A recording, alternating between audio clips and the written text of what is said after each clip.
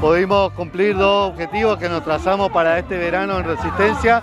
El primero de ellos es lograr la movilidad social, que muchos vecinos y vecinas puedan disfrutar de, de las vacaciones en la ciudad de Resistencia. Sabemos que muchos vecinos no pudieron viajar y tuvieron un recorrido de espectáculos públicos, barriales y de grandes parques eh, extraordinario, con una gran participación de artistas locales, muchos artistas nacionales. Le pudimos dar la oportunidad a nuestros vecinos y vecinas de disfrutar en familia de todo el verano en la ciudad de Resistencia y lo vamos a finalizar con el cumpleaños la, semana la semana de Resistencia el 2, 3, 4 y 5 de febrero si Dios quiere.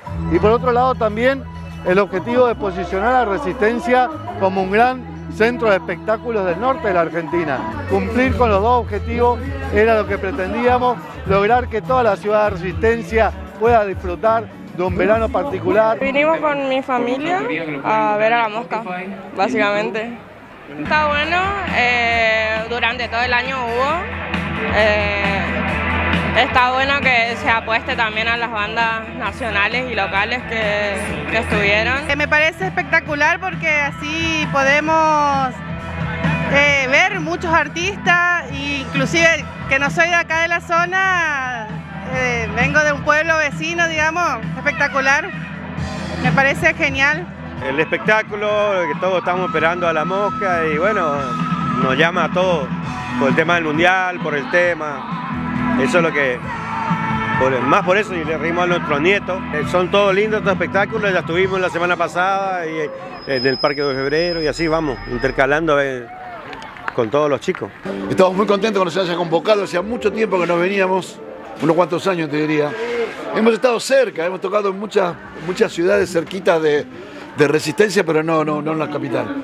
Así que bueno, felices, las expectativas son que que la gente que vino se vaya contenta. No, no la vamos a cantar. Porque. No, mentira.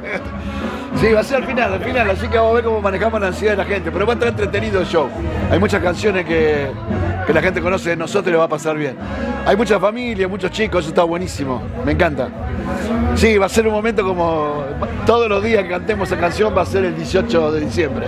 Está muy bueno acercar lo que está muy bueno es este, justamente matizar con, bandas convocantes por ahí, junto con artistas locales, para que tengan la posibilidad de, demostrarse ante su propio público, los amigos, la familia, este, con un buen sonido, con buenas luces.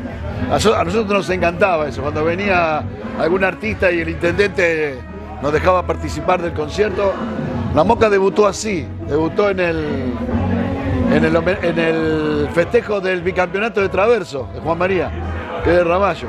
Y vino Papo y Alcide, y tocamos nosotros.